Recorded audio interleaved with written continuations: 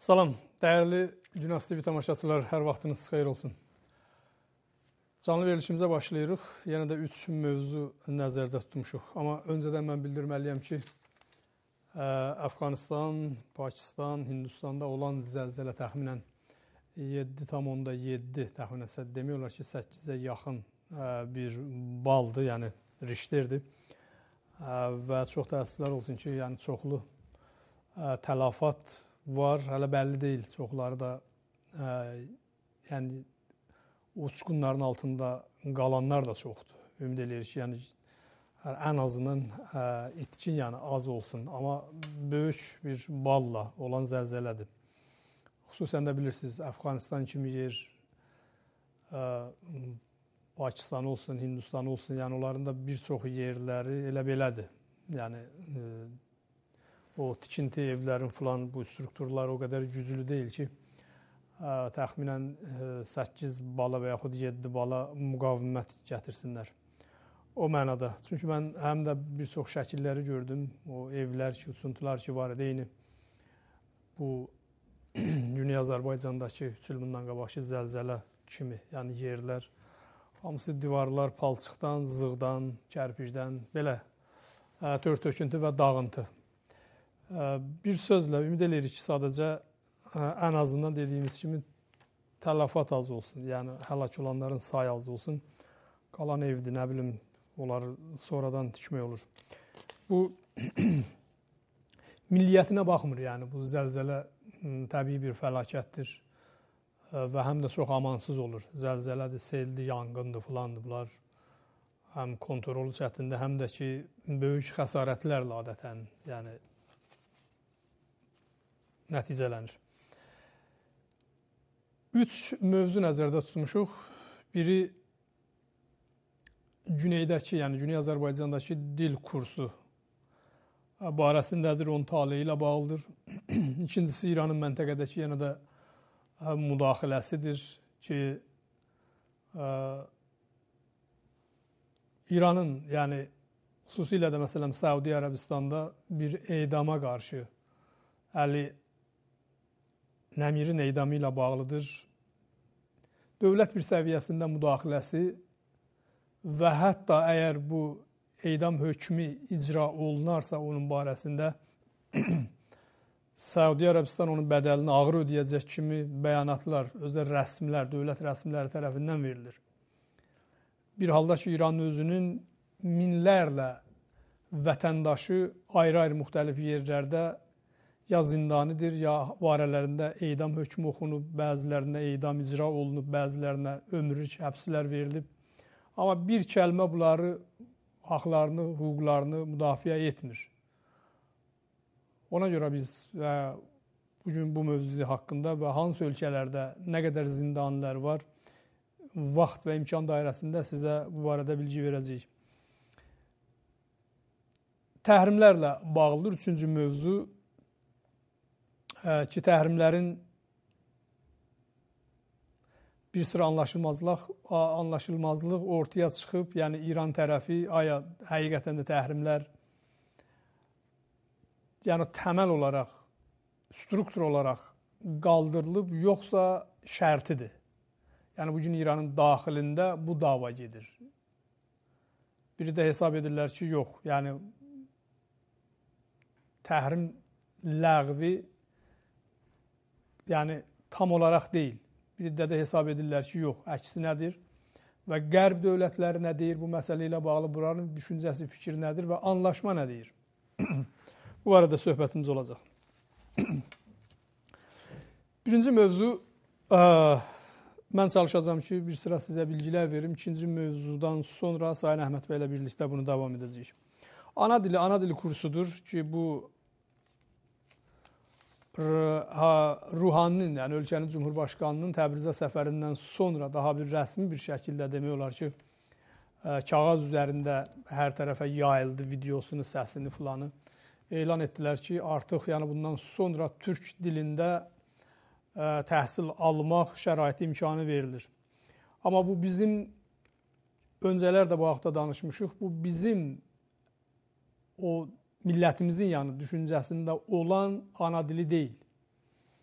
Yəni ana dili məktəb açılsın, dövlət bu məsələ ilə bağlı dərsliklər hazırlasın, dövlət mədrəsələr təhiyyə eləsin, dövlət müəllimlər bunun üçün dəvət eləsin, gəlsinlər. İndi o dili bilən ola bilsin ki, Quzey Azərbaycandan da çoxlu müəllimlər var. Yəni bu formada deyil ki, kurs dili və ədəbiyyatı ki, bu cür geniş bir şəkildə bunun təbliğatına başladılar və tez bir zamanda da susturdular. Yəni bu gün bunu gündəmə gətirməkdə hədəf bunun susturması ilə bağlıdır. Necə oldu birdən-birə bu qədər təbliğat filan, amma birdən-birə də tamam təbliğatların hamısı dayandırıldı. Sanki yəni heç bir şey olmamış kimi. Yəni Ruhani gəldi, bu vədəni verdi. Əlbəttə Ruhandan öncə də çox cümhurbaşqanları gəlib vədələr veriblər və çox məsələlər haqqında. onlar ki, dövlətin marağındadır, onlar icra olur. Onlar ki, dövlətin marağında deyil, onlar icra olmur. Məsələn, mübarizə və münkirat, nəhyəz münkir bu tipli bunların fərmanları həman icra olur. Bu düzəsini də ayırırlar, məmurlarını da toplayırlar əməl də olunur. Milləti xiyabanda, küçədə tuturlar, vururlar, aparırlar, incidirlər. Yəni belə şeyləri həmin əməl edirlər. Amma məsələn Azərbaycana yol çəkirlər, otobanlar çəkirlər filan. Başlasalar hələ bir 4 illik, 5 illik bir projenin hardasa 20-25 il davam etdirirlər, sonda da yarımçılıq qalır. Yüzlərlə o cür Güney Azərbaycanda proje fakt olaraq göstərmək mümkündür ki, başlayıb yarımçıq buraxıblar. Çünki o budcə yeyilib. Budcə, yəni hər hansı bir kiçik məmurlar tərəfindən yeyilməyib. Yuxarıdan, yəni dövlətin başında duranlar, Xaməni, onun oğlu, onun ətrafı, sipah komandorları, nə bilim digər, yəni səlahiyyətli insanlar ki, əlləri bu pullara oğurluqda rahat çatır. O pulları oğurlayırlar və beləliklə də Azərbaycanda hər yerə baxsaz bir adı var. Yəni Azərbaycan, məsələn, Gedun Urmic gölünün girişində böyük bir tablo vurublar proje ki, bu tab öz Əhməd Nijad dövründə ki, bu proses, yəni qurma prosesinin qarşısını alma o mexanizmi ilə bağlıdır. Vurublar, amma tablodur qalıb orada 1 dolar bu günə qədər. Bunu vəziri Niru da deyir, bunu millət vəkilləri də deyir, bunu ə, ustandarı da deyir. Ə, 1 dolar indiyə qədər Urm gölü ilə bağlı xərc olunmayıb. Olunubsa da konfranslar bunlar üçün nəzərdə tutulub. Yəni bunları misal vurmaqda məqsədim var. Demək istəyirəm ki, bu dil məsələsi də onlardan biri. Güya Azərbaycan türkçəsində kurslar şərait yaradıblar, icazə veriblər, gəldilər Şəhriyə adına bir mərkəzdə, ədəbi mərkəzdə pulsuz elan elədilər ki, kurslar başlanır, böyük plakatlar astıra, astıra oradan, yəni salladılar o binaların qabağından. Və orada yazdılar ki, kurs pulsuzdur. Gündə, həftədə neçə dəfə və nələr nələrə toxunulacaq, nə hamısını biz yəni bunları sizə göstərmişik. Ona görə öncədən danışmışıq. Sadəcə bunları mən təkrarlayıram ki, sonda bu bir nəticə ala bilək. Amma yəni keçən son bu dil kursu ilə bağlı söhbətimizdə mən elan etmişdim ki, belə bir şey başlandı. Və bu bizim millətimiz üçün yetərli deyil. Bunu da elan etmişdik. Yəni bizim tələbimiz, istəyimiz o deyil. Bu gün o zindanda yatanların hədəfi, məqsədi bu deyildi ki, gələlər orada bir dənə kurs açalar, insanları dəvət eləyələr və orada daha sonra ardıncan oyunbazlıqlar başlayır. İndi mən işarə edəcəm oyunbazlıqlar nədən ibarət olub. Millətimizin hədəfi, məqsədi bu idi ki, bu qədər yəni həzinə ver, soydaşlarımız cavan yaşlarında getsin, ömürlərini zindanlarda çürüsünlər və gələsən elan eləyəsən ki, bəli, bir səlahiyyət verilib, səlahiyyətli orqanlar tərəfindən ki, Azərbaycan dilində eləyə bilərsiniz, kurslar açıb və dili öyrənəsiniz.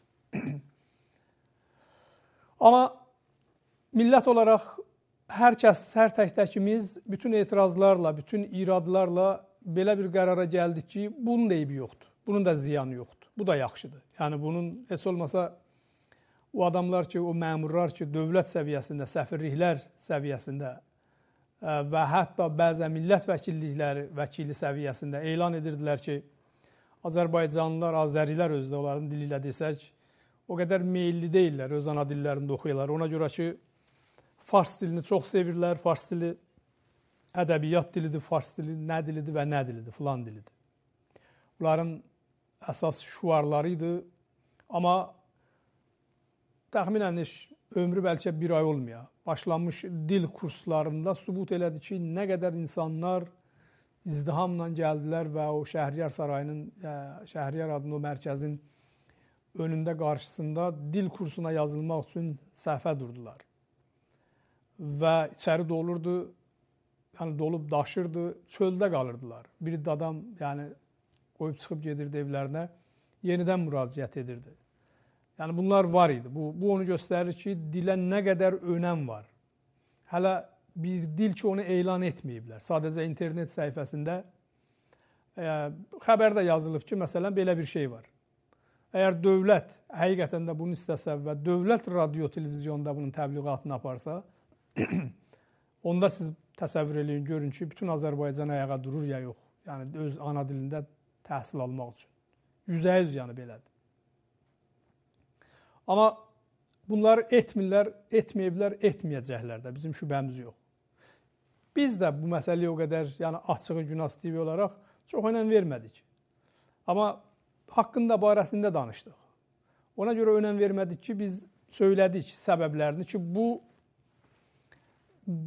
normal yəni bir olay deyil. Yəni bunun arxasında yəqin ki, nələrsə var və sonradan da bütün bunların hamısı bəlli oldu. Biz demirik ki, o kurslar bağlanıb. Yox, kurslar elə belə davam edir. Çünki ə, e, bunlar o qədər iyrənc işlər gördülər ki, bu bir ayın ərzində bir çox gənclər, cavanlar, hətta yaşlılar belə həvəs göstərmişdi. Qayıtdılar, çıxdılar, getdilər evlərinə. Nə bilim, pulsuz kursu pullu elan etdilər. Adam başı 60 min tümən gərək ödəyəsiz həftəni gətirdilər, iki həftədən bir elan elədilər ki, bu iki həftədən bir bu kurs olacaq. Hər, hər halda həftədə iki dəfə nəzərdə tutulmuşdu. Və bununla bərabər gətirdilər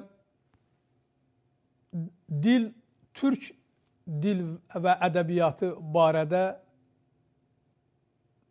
fars dilində danışdılar, fars dilində tədris elədilər mən bu sitələrin birində gördüm. Orada xüsusilə də Rəhim Rəisniyanın adı çəkilir orada. Rəhim Rəisniya gəlib orada kursda farsça danışıb və bunu etiraz ediblər. Aha bunun adı türk dili ədəbiyyatıdır. Siz niyə burada farsça danışırsınız? Niyə bunu farsça aparırsınız bu dərs, dərsləri filanı? Hətta sual verəndə ki, aya bunu bilərəkdən özünüz eləyirsiniz və yaxud bunu sizə tapşırıqdır. Hansı əsasda bu işi görürsüz? Və o bu məsələyə qətiyyən cavab verməyib və bildirib ki, o adamların ki, xoşu gəlir, otura bilər, o adamların ki, xoşu gəlmir, kursu tərk edə bilərlər və beləliklə də bir çox insanlar oradan, yəni oturduğu klassdan və necə deyirlər, tam bir zövqlə adını yazdırdığı və mən öz ana dilimdə təhsil alıram, dərs oxuyacam, belə bir klassı tərk etmək məcburiyyətində qaldılar.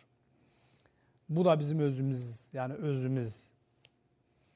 Yəni təsəvvür eləyin, əgər bir ayrı bir adam olsaydı və yaxud hər hansı bir kimlərsə o göndərilmiş, gətirilmiş, tapşırıq verilmiş adam olsaydı, bəlkə də bir başa düşmək olardı. Amma rəhim rəis niyə bəs siz niyə belə? Əlbəttə biz bilirik ki, onun Azərbaycanla bağlı Azərbaycana qarşı ilk dəfə deyil. Yəni çoxlu yazılarında da çox qaranlıq məqamlar var, bu şübhəsiz. Dəfələrlə burada da Günas TV-də də onun haqqında danışılıb. Amma bu məsələ ağ eləməkdir həqiqətən. Yəni həqiqi ciddi deyirəm. Yəni bu bir insan dövlət tərəfindən elə belə təsadüf nəticəsində ya və yaxud nəyəsə görə izn verilmiş ana dilindəki dil və ədəbiyyat dərslərində gəlib fars dilində danışmaq bunun heç bir anlamı yoxdur. Bilmirəm, kaş ki orada olanlar heç olmasa bunları bir videoya çəkərdi. Bu videonun göstərdiyini heç bir vəclə danışmaqla onu, yəni olduğu kimi ə, tamaşaçılara çatdırmaq bir qədər çətindir. Bilmirəm, bəlkə də var, bəlkə də kimlərdəsə bunun videosu var. Mən çox istərdim ki, əgər o adamlar da ki, həqiqətən Rəhim rəisliyə gəlib türk dili ədəbiyyatı klassında, kursunda gəlib farsı dərsdir, farsı danışırsa, onu bizə göndərsəz məmnun olarıq. Amma 100% bu olub. İnandığımız şəxslər, adamlar tərəfindən bu deyilir və biz də əminik ki, çünki sabiqəsi də var, o sabiqəsinə əsasən də təbii ki, heç bir şübhə yeri qoymur. Yəni bu necə ola bilər? Bir insan, yəni adı türk dili ədəbiyyatı amma fars dilində. İşim yox. Hətta sonradan İttilat məmuru məmurları müdaxilə etdi bu məsələyə. Nizam-intizam qüvvələri adı altında baxdılar, gördülər ki, dil kursuna izdiham get-gedə çoxalır və o qədər telefonu açıb zəng edənlər, hətta 60 min tümən hər bir kursda elan etdikdən sonra belə yenə də ardı arası kəsilmədi. Millət hesab elədi ki, bunu da ödəyəcəyik, bunu da verəcəyik. Amma qoy bir təməli qoyaq. Qoy öz ana dilimizdə bu kurs açılsın və e, görsünlər ki, biz nə qədər öz ana dilimizdə oxumağa meyilliyik. Bu bəlkə də hesablamamışdı. Bəlkə də ittilat və yaxud o lazımi qüvvələr təsəvvür ayrı imiş. Doğrudan da məsələn 2 dənə millət vəkilinin sözünə ya yaxud və yaxud bir dənə səfirin sözünə inanıb təsəvvür ediblər ki, yəqin ki, bura gələn olmayacaq və biz də toy bayram edəcəyik. Sübut edəcəyik ki, baxın gördün kursları açdıq, gəlmədilər. Amma o yerdə ki, oradan palaz-palaz elanlar asıldı və dedim hələ heç bir təbliğatı olmadan Şəhriyarın mərkəzi doldu, xiyabanlar, küçələr doldu və bunlar heyrət içindəki nə edək, nə etməyək, gecə ilə gəldilər o plakartları yığışdırdılar. O aslan elanları o binanın qabağından götürdülər. Əlbəttə biz keçən dəfə göstərdik də onların şəkil də var asılmış və çıxardılmış formada şəkil də var. Xəbərlərdə də ara sıra bu məsələyə toxunur. Ona görə biz mən sadəcə elə bu ötəri deyib bunun üzərindən keçirəm. yəni bunlar bu məsələni hiss edəndən sonra başladılar tədbirlər görməyə. Və tədbirləri bundan ibarət oldu ki, ora gəlib gedənləri nəzarət aldılar adı deginən, familiyə, fa şöhrətidir, telefon nömrə ver, adresin harada, harda yaşayırsan, kart şinasa hüccəti, milli kartı, milli kartın üzərindəki şumarələri, qeydləri, filanları götür. Və yaxud hətta o adam ki, gəlmir, telefon vasitəsilə telefon eləyəndə və bu bir növ başladılar bunlar informasiya toplamağa. Və vətəndaşların bir dəsti təsəvvür elədi ki, deməli, bunlar ola bilsin ki, siyahı tuturlar gələcək üçün ki, kimdir daha çox bu məsələyə meyil göstərənlər? Əlbəttə ki, o zaman onda gərək bunlar bütün Azərbaycanın siyasətini tuta. İndi orada yavaş-yavaş zaman-zaman təbii ki, insanlar axın eləyəcəkdir. Hər kəs ki, bir həftənin, iki həftənin içində hamı ki, ora gələ bilməz və o yer nə bölgə ola bilər ki, ta hamı gəlsin orada dərs oxusun. Təbii ki, zaman-zaman yəni insanlar da dəyişəcək, o kursun leveli də dəyişəcəkdir. Amma Bir sözlə buna maneçilik törətdilər, qoymadılar. Və yenə də rejimin abrı getdi. Yenə də millətimiz bu məsələdən üzü ağ çıxdı. Başı uca çıxdı. Ona görə başı uca çıxdı ki, o fürsətdən istifadə elədi və sübut elədi ki, mən bu dildə oxumaq istəyirəm. Özdə yaşından asılı olmayaraq. Adətən belə yerlərdə az yaşlı uşaqlar daha çox meylli olar, amma ə, biz baxdıq şəkillərdə də gördük ki, əksərən 20-25 yaşından yuxarı İçində də ara sıra yəni az yaşlılar da var. yəni dövlətin hesablaması mühasibəsi iştibah olandan sonra ə, bunlar birbaşa bunun ləğvini elan etmədilər. Dediyimiz kimi addım-addım onu bağlamağa doğru getdilər. Bir gün dedim plakartı götürdülər, o biri gün bilgi məlumat istədilər, sonra 60 min tümən istədilər ki, bir sıra məhdudiyyətlər. Çünki hər halda bilirlər ki, pulsuz olsa çox adam gələ bilər. Pullu olsa bir iddə gələ bilər, bir iddə gələ bilməz. İndiki İran iqtisadiyyatı durumu ilə bağlı. Sonra Rəhim Rəisniyaları göndərdilər. Azərbaycan türkcəsində olan klası çevirdilər fars dilinə və nəhayət ki, həftədə iki dəfəni elan elədilər, iki həftədə bir dəfə. Daha sonra da təbii, yəni hətta bizim özümüzün, mənim özümün tanıdığım insanlardan bir iddələri təəssüflə, yəni oranı tərk etmək məcburiyyətində qaldılar. Səbəblərini də açıqladılar ki, bunlar deyəsən hədəfləri, məqsədləri həqiqətən də şərait yaradıb dil öyrənmə məsələsi deyil. Burada həm də bir növ o ə, təxliyə informasiyası prosesi gedir. Yəni insanların ora gələnlərin kimlikləri, nə bilim nələri, nələr bir yəni bu yolla bir bir növ təhdid forması ilə başladılar ki, bu klassları soyutmağa, sərinətməyə ki, yəqin ki, yəni birazdan da bağlanacaq. Yəni buna zərrə qədər heç kimin şübhəsi olmasın. İndi 1 ay, 2 ay, 3 aya vaxt zamanda bağlayacaqlar. E, özdə elan eləyəcəklər ki, millət meyil göstərmədi. Bunu baxarsınız. Yəni bunu mütləq onların orada bu işlə məşğul olanlar özləri yazacaqlar. Çünki elə dil kursu ola bilməz və məhz birinci verilişdə ki, mən bu məsələyə yadınızda olsa yəni təqib eləyən olsa bizim ardıcıl verilişlərimizi diqqət eləsəz, biz dedik ki, bu ana dili kursu deyil. Bu buna dil kursu deməzlər. Buna oyun deyərlər. Amma biz dedik ki, yenə də yenə də bu da xeyirdir. Olmamadan olmağı yaxşıdır. Heç olmasa ən azından abırları gedər ki, bağladılar, gördülər insanlar, açdılar, gördülər insanlar axın eləyir və nəhayət bağlamaq məcburiyyətində oldular. Yəni bu istər-istəməz bu kurslar oldu, olmadı, durum belədir. Bu oturuşub yerində. Ana dili türk dilində mədrəsə olmalıdır hər kəsə. Bunun geci tezi var. Bunun müxtəlif forması var. Ya dövlət ağlını başına yığacaq, vəziyyəti görüb o şəraiti yaradacaq. Yəni tutalım indiki mövcud mədrəsələr, məktəblər ki var Təbrizdə, Urmiyədə, Qəzvində, Zəncanda, Həmədanda, Muğanda, Sulduzda, Əhərdə və s. Bütün şəhərlər, hər şəhərdə mədrəsə var, məktəb var. Ya, yəni bunlar eləyə bilər yarı günün bir yarısında ana dilində təhsil alalar, ana dilində təhsil alanlar gedər. Bu adamlar ki, fars dilində oxumaq istəyir, günün bir yarısında da gedər fars dili oxur. Biz heç vaxt, heç zamanda buna qarşı deyilik. Nəinki fars dili, dünyanın hər dili olur olsun. Bir istəsə könüllü dil öyrənmək çox gözəldir. Çox dil bilmək çox adamlıq deməkdir. Yəni sən bir neçə adamsan, bir neçə nəfərsən, bir neçə kültürün içinə nüfuz eləyə bilirsən, girə bilirsən. Bu çox gözəldir. Çox nə qədər dil bilsən, o qədər gözəldir. O anlamda məntiqlə, yəni biz heç dilin hətta fars dilində belə ki, qatil dili adlanır və həqiqətən də belədir onun da əleyhinə dəyilik. Yəni mən şəxsən özümü deyirəm. Ona görə də bunların ayrı bir çıxış yox, çıxış yolu yoxdur. Ya gərək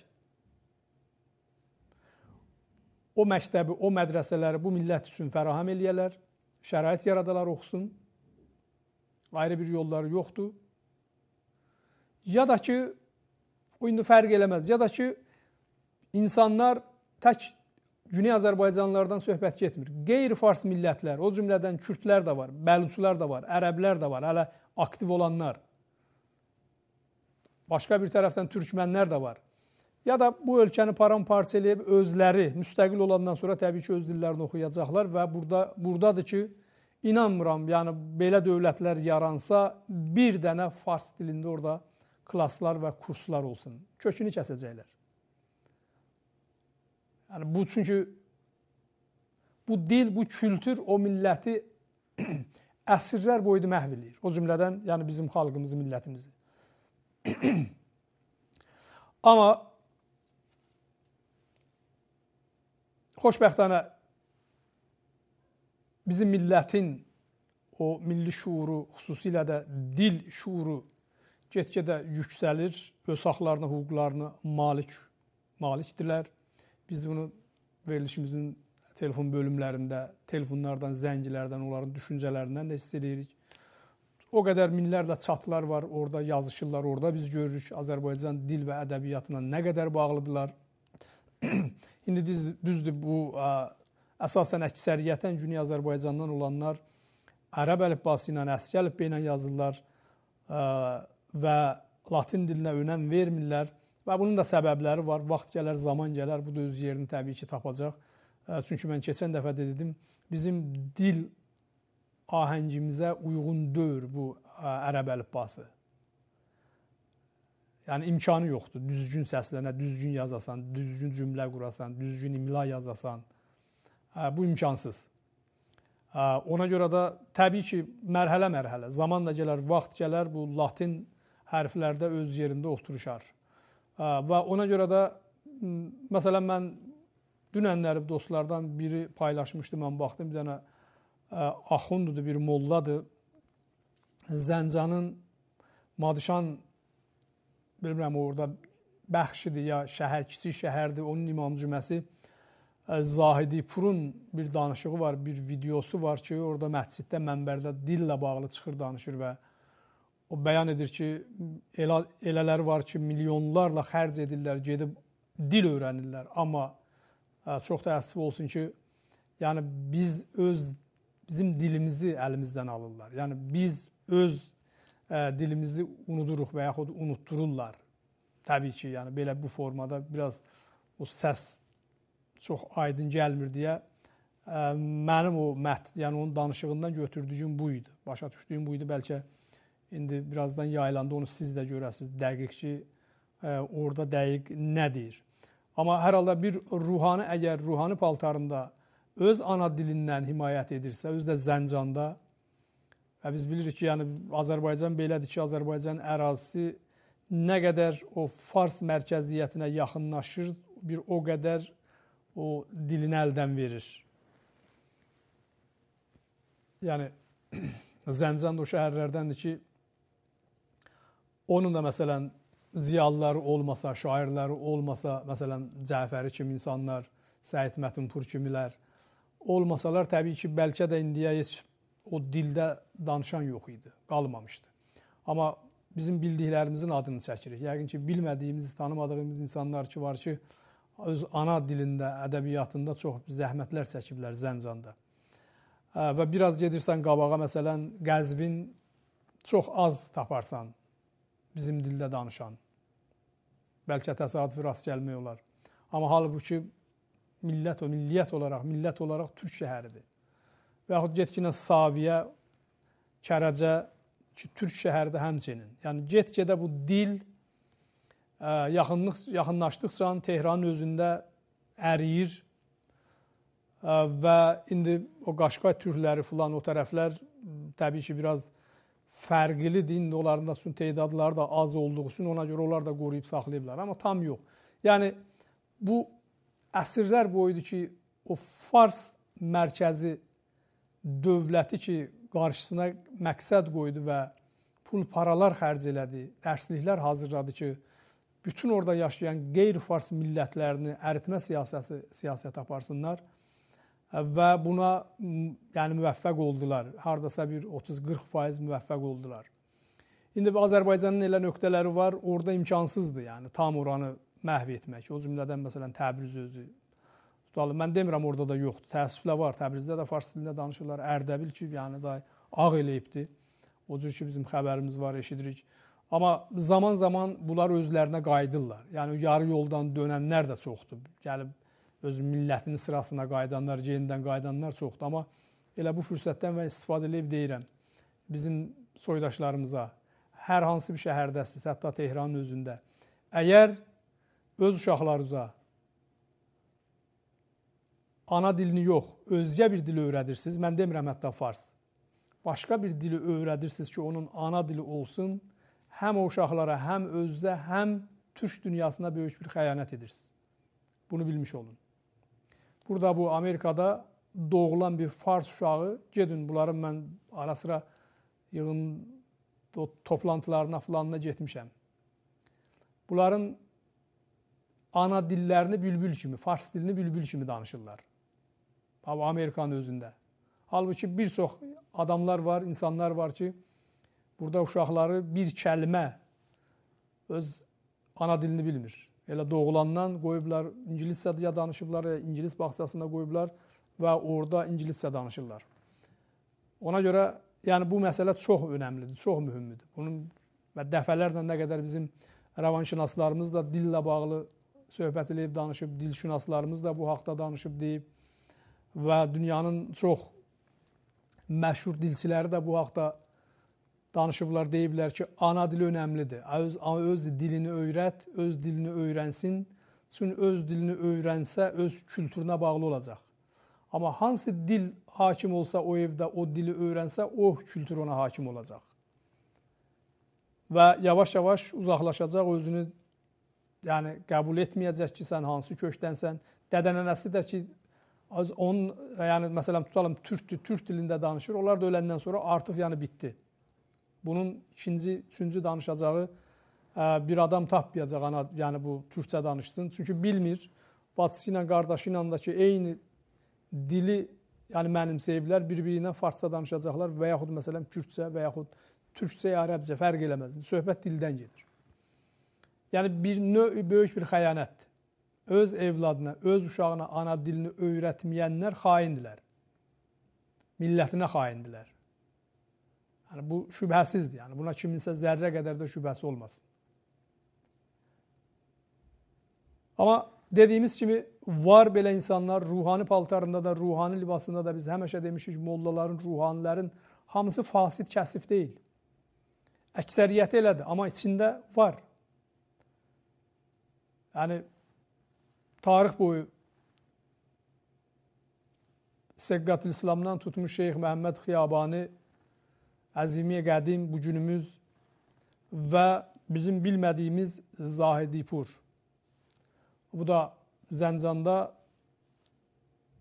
o Madişan və yaxud Maş, Mahişan bir şəhərdir bilmirəm. Mən dəqiq indi bir yerdə Madişan, Madişan yazıblar. Nə dərəcədə onun tələffüzü düzdür, amma Zəncan, Zəncandadır ki, bir molladır. Mən istərdim ki, onun videosunu sizə təqdim eləyək ki, dillə bağlı, dilimizlə bağlı həm də bu söhbətin içində ona işarə eləyir. Əgər hazırsa biz bunu efirə verək. Buyurun.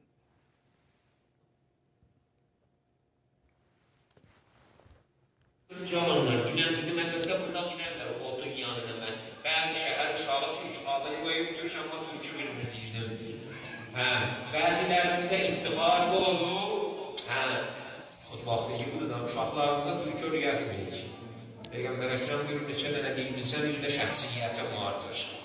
Bir yeri neçə milyon bu xərşin dil öyrənir. Bizdə təlaş edilir ki, dili ana dili, hoviyyət dili, yaddan çıxar. Bu da bir bədbəxtçilikdir da. Allah işgal mübtəda eləməsin. Və əsəri var, əsəri dinisi var, mən dərs edirəm. Əsəri dinisi var. Mən camə şinasəm, dərkinar et ki, sərvaz nalayıq imam zamanı belhaz ictimaidir. Hani indi bir yol bu nərz edir. Özünüzü, əyalınızı, familinizin, xanivadəsi, uşağınızı, vacibdir cəhənnəm odundan əzizi məndə nicat verə. Niyə? Uşağın qeybətə mübtəla olar. Namərləmə mübtəla, baxmağa mübtəla olar. Xuday nakərdə Bu ə, e, qeyd etdiyim kimi görünür gizli çəkilib, ona görə də səs keyfiyyəti o qədər yaxşıdır, amma hər halda bu e, Zəncanın mahnişan və yaxud madnişan hə, hər nədir? Yəni bu bayaq dedim, bir şəhərlərinin və yaxud bəxşlərinin biridir. Mollanın adı Zahidi Purd İmam Cüməsidir oranın. Əgər İmam Cümədirsə, yəqin ki, görünür ora şəhərdir öz elə. Və danışığını gördünüz. Yəni bu açıq şəkildə dillə bağlı nələr söylədi ki,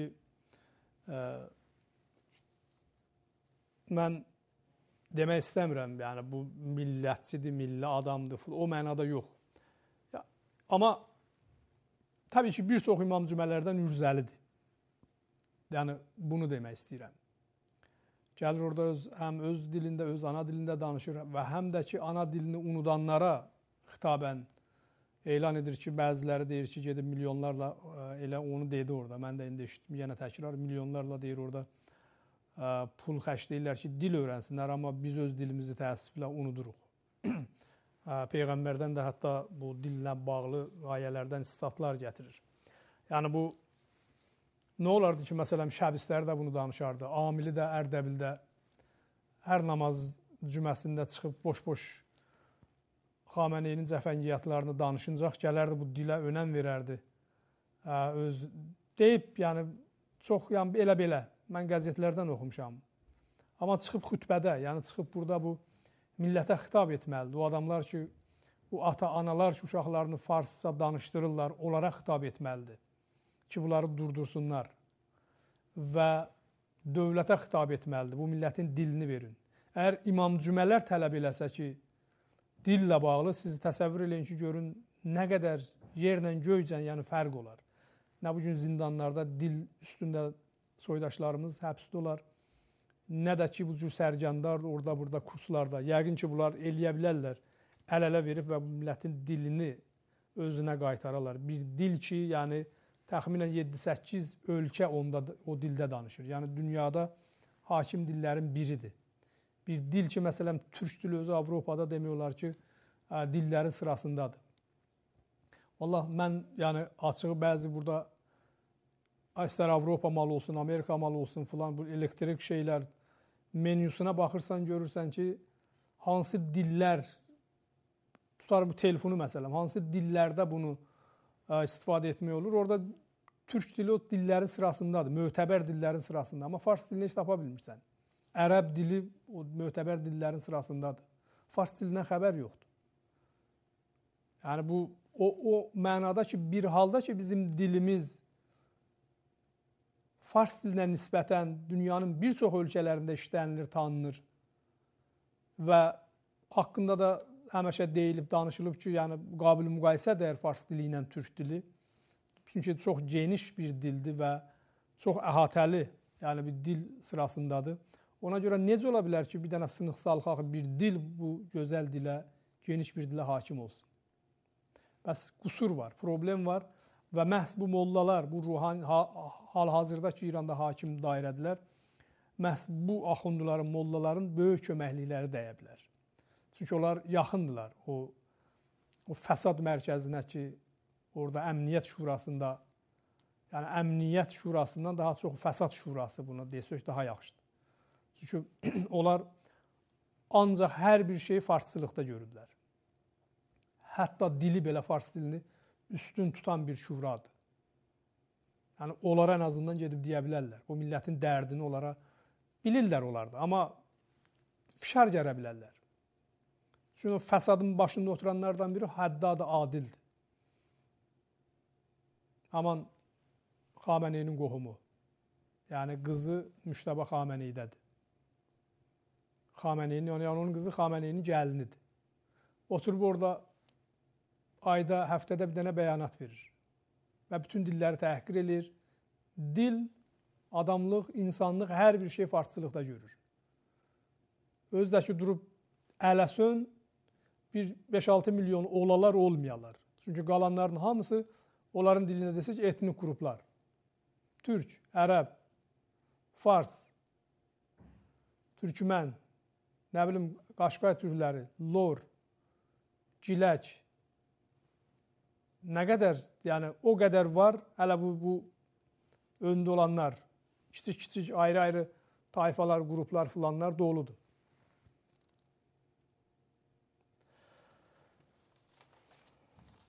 Qısa bir ara alırıq.